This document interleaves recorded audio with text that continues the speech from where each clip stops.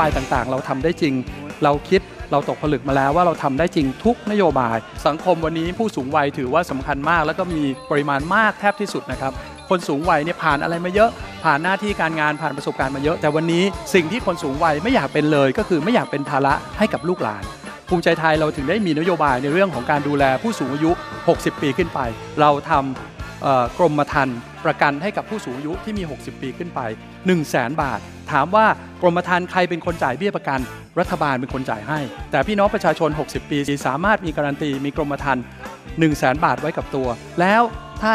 ไม่อยากเป็นภาระให้กับลูกหลาน